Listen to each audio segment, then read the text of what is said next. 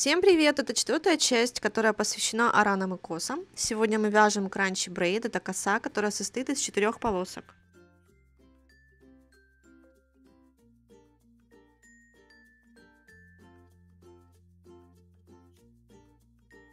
Начнем с того, что мы должны набрать 21 петлю. Первый наш ряд это, как всегда, будет изнаночный ряд. И мы начинаем. Первую кромочную снимаем, провязываем 2 лицевые, далее провязываем 15 петель изнаночными. И заканчиваем ряд, провязывая 2 лицевые и 1 кромочную.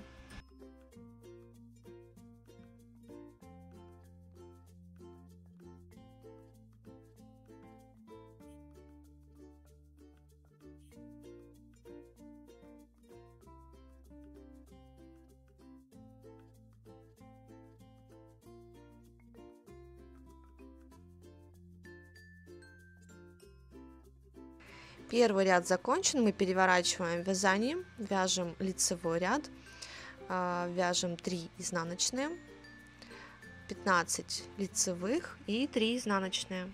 Не забываем, что первая последняя петля это кромочная.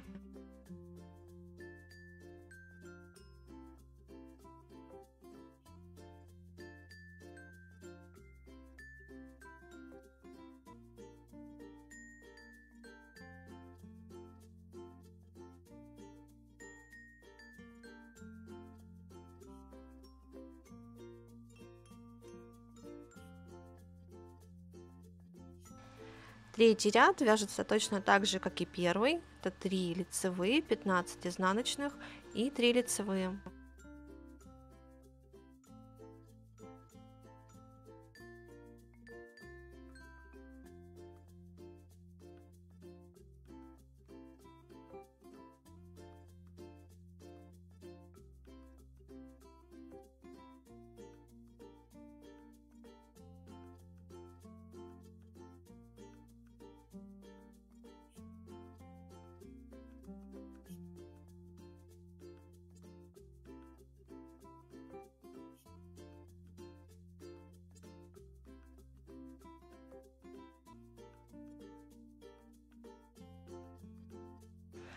На очереди у нас четвертый ряд. Мы снимаем одну кромочную, провязываем 2 изнаночные.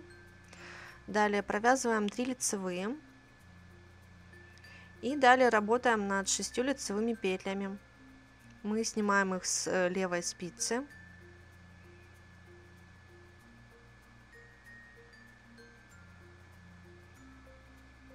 Первые три одеваем на левую спицу, оставляя 3 петли за спицей и также их перемещаем на левую спицу. Таким образом мы перекрутили наши петли.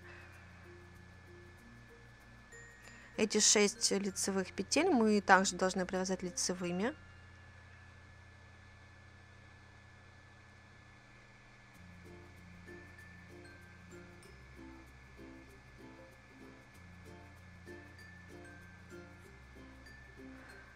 Далее у нас осталось еще 6 лицевых петель.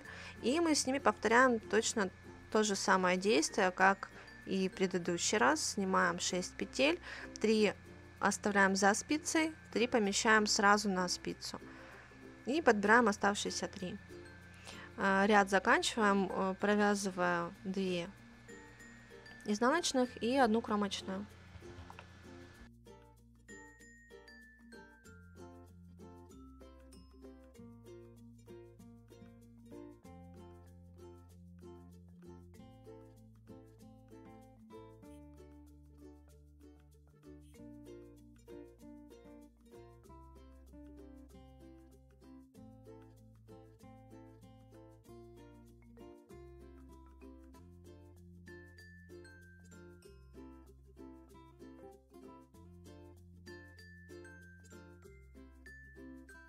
Пятый ряд это простой изнаночный ряд, мы вяжем его по узору, то есть 3 лицевые, 15 изнаночных и 3 лицевые.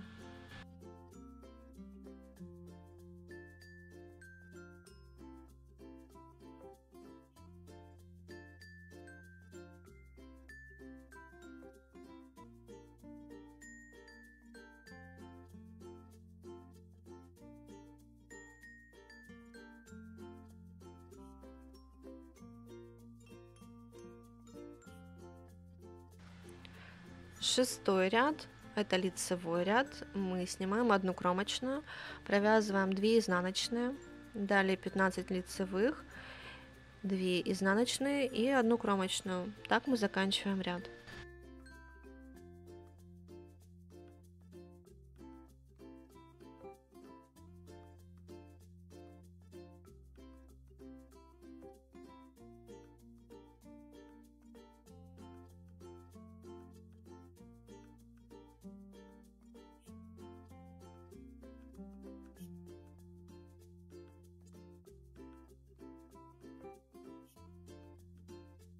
Седьмой ряд вяжем по узору, и это изнаночный ряд.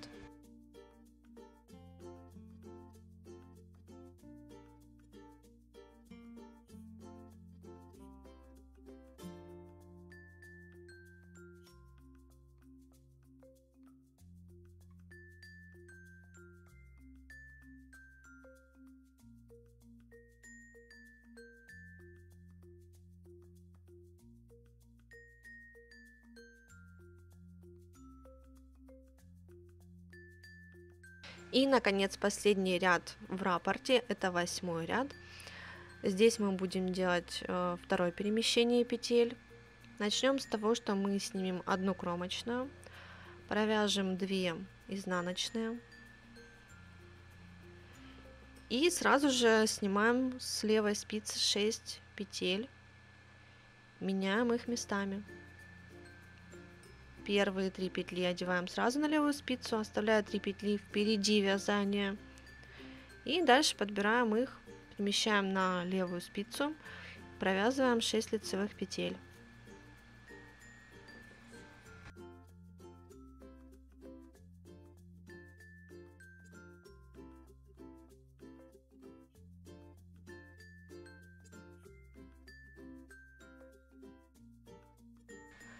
Далее мы повторим точно такое же действие над шестью лицевыми петлями, как и предыдущий раз.